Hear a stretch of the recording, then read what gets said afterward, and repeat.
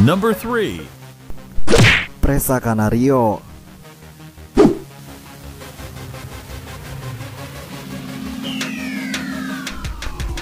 Presa Canario merupakan jenis anjing petarung yang berasal dari Pulau Kanari di Spanyol. Anjing ini memiliki berat badan yang mampu mencapai lebih dari 45 kg.